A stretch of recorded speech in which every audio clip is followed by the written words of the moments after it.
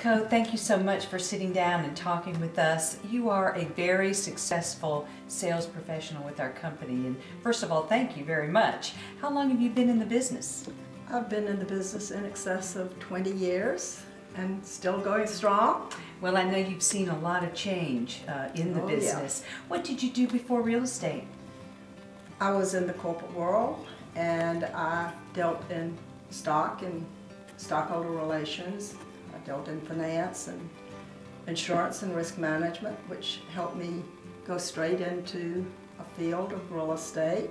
And it blended perfectly because so many clients need some of that background in dealing with their financial affairs. Well, I can certainly see how the two work very, very well together.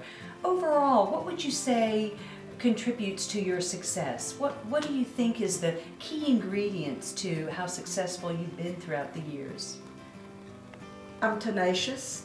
I work very hard, but I'm also very honest and straightforward. I will always, always, always tell a person exactly what I really think. I treat everybody the same. I communicate a lot with my clients. I don't forget them after they've left me. Um, I have found that many of my clients have become my very closest friends. Oh, that makes it all worthwhile, Oh, doesn't yes, it? That's it a does. nice side benefit for sure. What kind of advice would you give someone that was looking at the market right now and not quite sure it would be a good time to buy, but wanting to get started with the process? And, and how would you advise them right now? What do they need to think about or know or do? And, and um, share with us how you would coach them along. I would tell them first to do their homework. Um, our buyers today do so much on the internet, and our company has so many ways that you can focus on getting a lot of background before you ever even start the, the looking house hunting process. Uh, I would say go ahead and get your, your financial affairs in order, get your pre-approval, your pre-qualification letter, uh, so that you know that what you buy is what you're going to be comfortable in so far as your payment is concerned. So don't buy more than you can actually afford and you're comfortable with. Absolutely. And what about working with you? What's the relationship with with the agent that uh, that works best?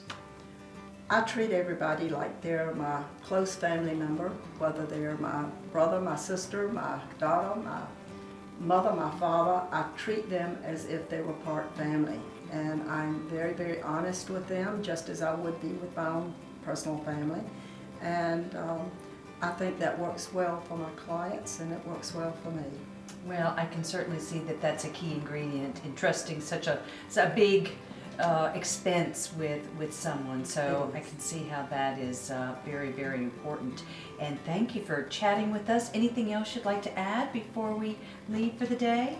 I would just say that I love working with ERA Wilder. It's a family-owned corporation, and I love the personal touch of being able to communicate with the ones who own the company, and uh, it, it just feels like family. It's a team effort, and to me, buying and selling a home is always a team effort. It really is. It's a lot more than Yes, just one person, is. is. not it? It is. It takes a village. It It does. a village. It does. Well, we're thrilled to have you with us.